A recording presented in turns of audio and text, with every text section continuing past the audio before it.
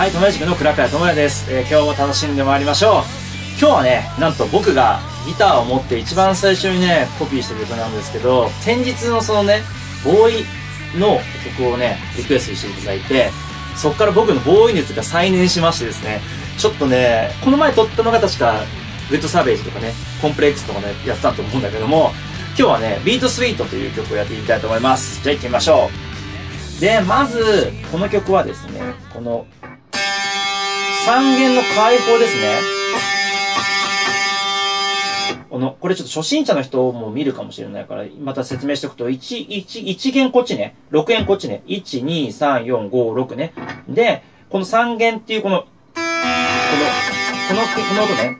これの音を弾きます。で、ちょっとね、これね、初心者として難しいかもしれないんだけど、まず、普通に、この、この2フレット弾くんだけど、この2フレット人差し指で押さえるんだけど、3弦のね、1、2、3弦の2フレット押さえるんだけど、これが、なんとね、弾かないんですよ。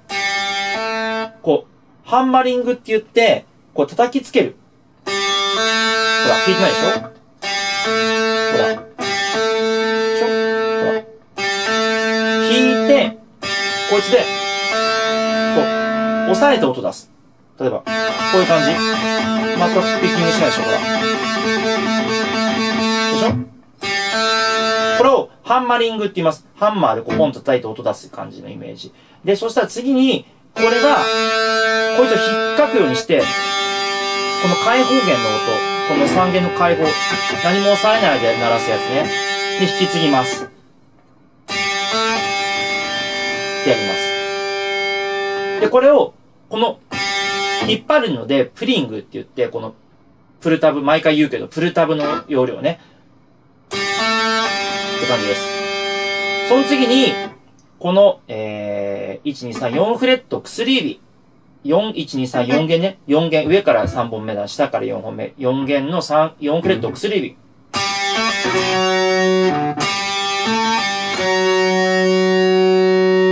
3弦に開放。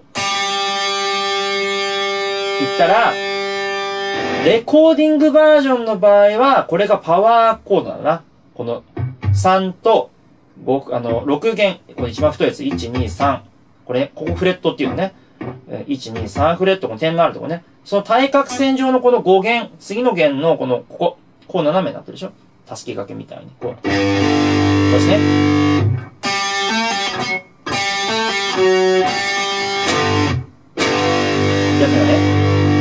これは G というコードなんだけど、布袋さんは、この、これをね、こうやって押さえてます、ライブの時は。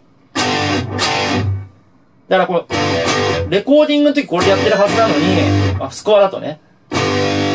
ライブの場合は、やっぱ立って弾くのね、これで大変なんですよ。あんだけストラップ低いとね。なので、じゃなくて、やってます。で、この曲って、本当はみんな、タンタカタンタンタンタンだと思ってますけど、実は、ドラムが入ってくるまで気づかないんだけど、実はこのフレーズ自体が裏拍って言って、タンタカタンタンタンタンじゃなくて、タンタカタンタンタンタン、タンタカタンタンタンタってなってるので、本当だったらこの頭のフレーズを、こうこう弾かなきゃいけない。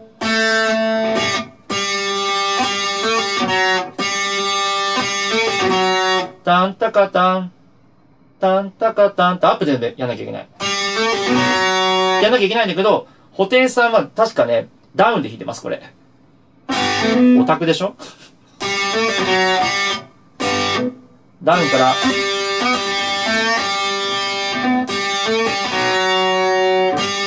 3弦をアップ。ですね。で、ライブの時はこう。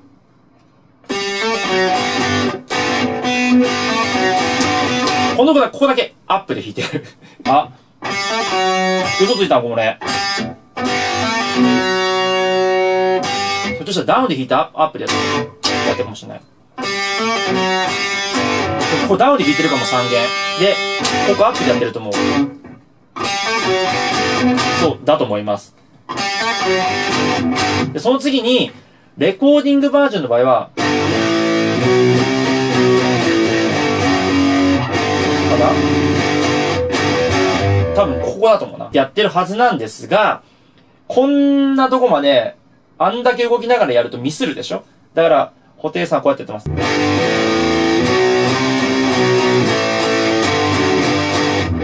やってます。これどういうことかっていうと、こっから、こ、次。この A のとこに行くんだけど、この、多分このね、5度っていう、この、ここの音省いてます。ここの2つを押さえたら、この解放が、ここと同じなので、で、次の、ここはパワーコードにしていく。ね。で、上がって、ここは、下ってきます。この2つね。ここゆっくりやると、このパワーコードって形ずれないのね。このまま。で、ここ。で、これがこう下がっていくと、ほら。こうやって押さえ、ほら。これ同じでしょ？か、ポジション的にか、斜めでしょ ?1 フレット相手1弦。ただ、こうやって押さえると、意味ないから、こっちで押さえちゃうんだけど、ここは1本ね。2本、この3弦の、えー、あ、じゃ3弦の6弦の3フレットと、えー、5弦の5フレット。これと次に、この5弦の開放。こんな開放ね、こいつ。次に、この5弦の2フレットの、えー、これですね。人差し指。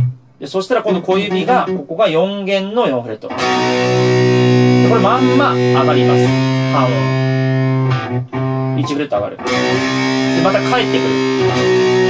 帰ってきた時に、ここは押さえてると思う。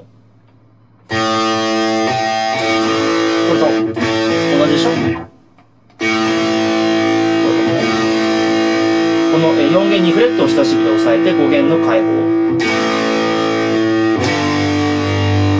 で、この時に、このまま下がってもいいんだけど、ちょっとハーモニー的に多分ちょっとおかしくなると思うから、布袋さんのことなので、じゃあこうやってると思いますただちょっと定かじゃないんで本人に弾いてみないとゆっくり弾くと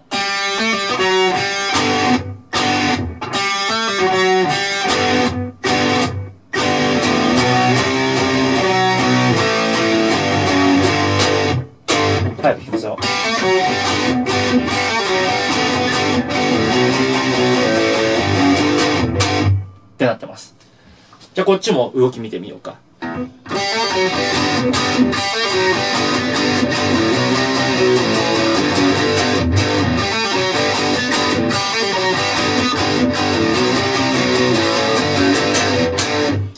と弾いてると思います。僕ね、これ、確かね、あの、僕の先輩にね、佐久間秀樹さんって方がいらっしゃるんですけど、まあ、師匠みたいなもんなんだけどさ、そのバンドのベースのね、小野さんって方がいらっしゃるんですけど、その方にですね、この確かで、右手俺直された記憶がある、これ。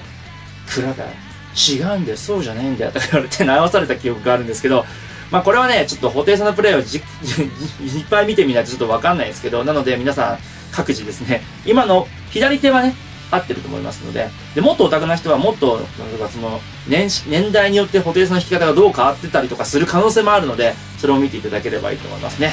ということで、えー、ボールのビートスイートでした。また会いましょうまたね